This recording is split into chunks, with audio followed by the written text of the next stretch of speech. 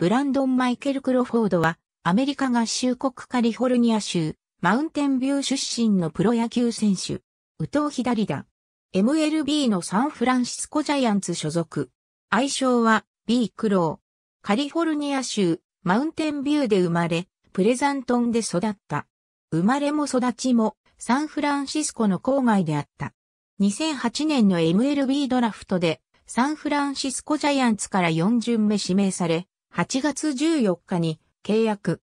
1巡目指名で入団したのは、その後長く一緒にプレーすることとなるバスター・ポージーだった。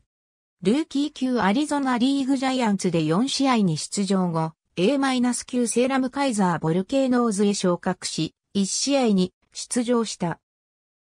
2009年は A 級3のゼジャイアンツで25試合に出場し、打率371.6本塁打、17打点、2盗塁、守備率976だった。5月に A 級コネチカットディフェンダーズへ昇格。108試合に出場し、打率258.4本塁打、31打点、11盗塁、守備率972だった。2010年は A 級リッチモンドフライングスクーレルズと A 級サンノゼでプレー。AA 級リッチモンドでは79試合に出場し、打率241.7本塁打、22打点、守備率977だった。2011年は A 級サンノゼで開幕を迎え、14試合に出場し、打率322.3本塁打、15打点、無失策だった。5月26日にメジャー契約を結び、翌27日のミルウォーキーブルワーズ戦でメジャーデビュー。第3打席にショーン・マーカムから満塁本塁打を放った。デビュー戦での満塁弾は史上6人目、ジャイアンツでは1968年のボビー・ボンズ以来2人目である。50試合に出場したが、打率190と結果を残せず、7月31日にトリプル A 級フレズのグリズリーズへ降格した。ロースターが拡大された9月2日にメジャーへ再昇格。この年は66試合に出場し、打率204.3本塁打、21打点だった。オフにはアリゾナフォールリーグに参加し、21試合で打率276.2本塁打、12打点、オプス729を記録。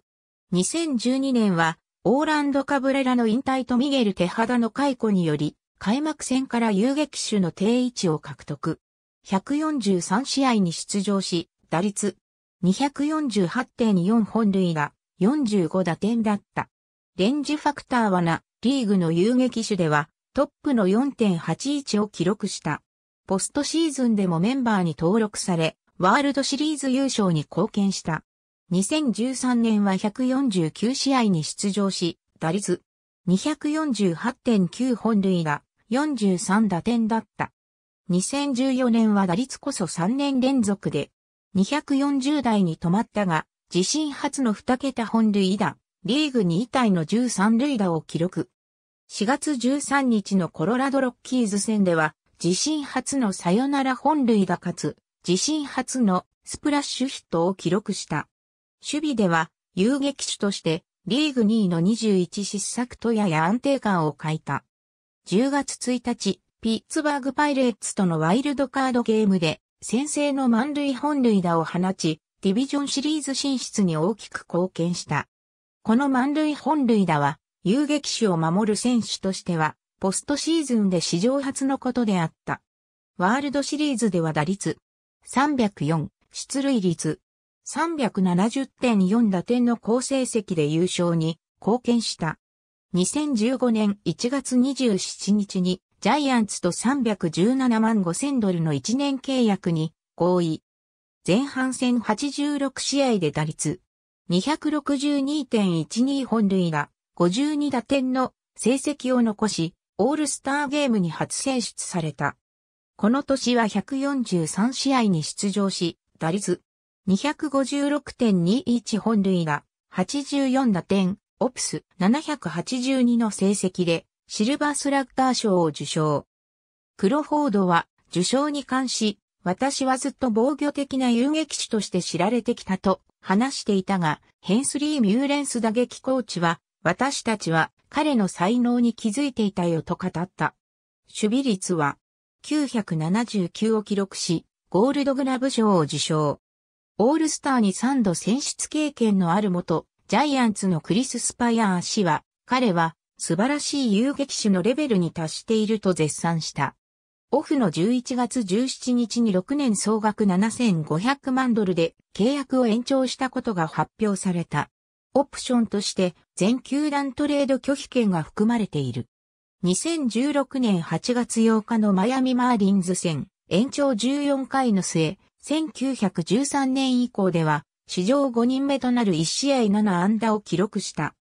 打率275.12本塁打、84打点、11、三塁打、出塁率、342オプス、772を記録するなど、前年に近い好成績を残し、守備では2年連続でゴールドグラブ賞を受賞し、MVP 投票では17位に入った。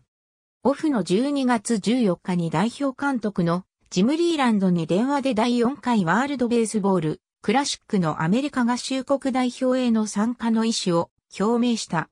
2017年はシーズン開幕前の2月9日に第4回 WBC のアメリカ合衆国代表に選出された。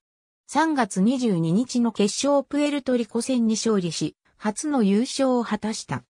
同大会では全8試合に出場して打率385.4長打、6打点と好調を維持したものの、プエルトリコ代表のフランシスコ・リンドーアにわずかに及ばず、大会最優秀遊撃首相は逃した。シーズンでは4月29日に、右鼠頸部の針で10日間の故障者リスト入りした。最終的に144試合に出場して打率、253.14本塁打、77打点、オプス709と成績を落とした。